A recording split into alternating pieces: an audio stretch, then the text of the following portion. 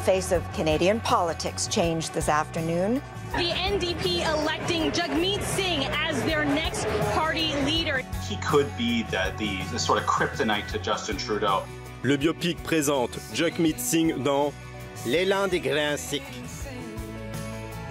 Il y a deux semaines s'est produit un événement historique pour les Canadiens. Jagmeet Singh a été élu président du NPD, le nouveau Parti démocratique. Historique parce que non seulement Jagmeet est le premier hipster élu à la tête d'un parti politique dans le pays, J'étais hipster avant même que ça existe. à cause de la barbe, Je suis né avec une barbe, je fais du vélo depuis que je suis gamin et je suis végétarien. mais surtout parce que Jagmeet est le premier président de l'un des trois grands partis à ne pas être blanc. Jagmeet est en effet d'origine indienne et de religion sikh. Ancien avocat pénaliste, il commence sa carrière politique en 2011. Sous la bannière du NPD, le troisième parti du Canada ancré très à gauche, il arbore les rues à la recherche de voix dans un langage Jones. Tiens mon flyer, je me présente cousin. Ouais, c'est cool, mec. Et avec un style atypique.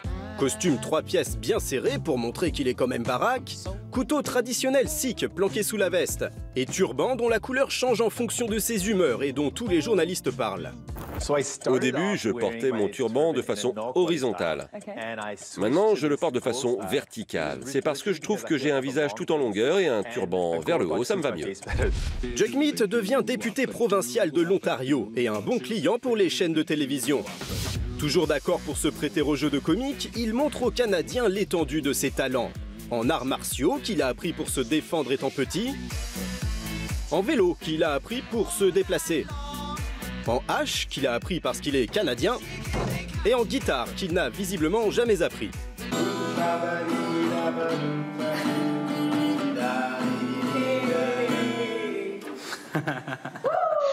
En début d'année, Jack Mead se lance dans la course à la chefferie de son parti.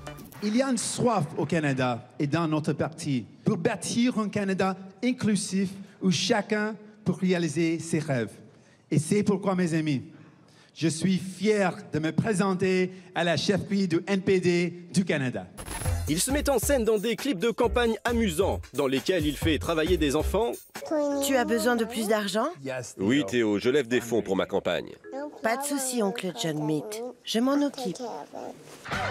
Bonjour, je m'appelle Théo. Je suis directeur de campagne. et nous avoue comment il a appris le français. C'était en 92. Je suis allé au magasin de disques pour voir leur section francophone. Je suis tombé sur un album de Rock Voisine. Et je trouve ça le fun que Rock Voisine m'ait aidé à mieux comprendre le français. C'est une langue que j'aime tellement. La popularité du barbu prend une nouvelle dimension après l'un de ses discours, durant lequel une femme qui ne s'y connaît pas trop en religion l'interrompt. Et votre charia, ça va s'arrêter quand? Ne me touchez pas. Reculez, reculez, mademoiselle. Alors, ça va s'arrêter quand, votre charia Nous savons que vous faites partie des frères musulmans. Digne, le sikh, qui n'a absolument rien à voir avec l'islam, ne lui répond pas, mais se contente de répéter son slogan qui prend alors tout son sens amour et courage. Nous ne voulons pas que la haine gâche un événement positif. Montrons donc comment nous traitons les gens avec amour. Nous vous accueillons, nous vous accueillons, nous vous aimons. Jagmeet remporte l'élection dès le premier tour et le NPD se met à croire qu'il pourra battre l'autre beau gosse de la politique canadienne, Justin Trudeau, qui porte moins bien le turban. Réponse aux prochaines élections du pays en 2019.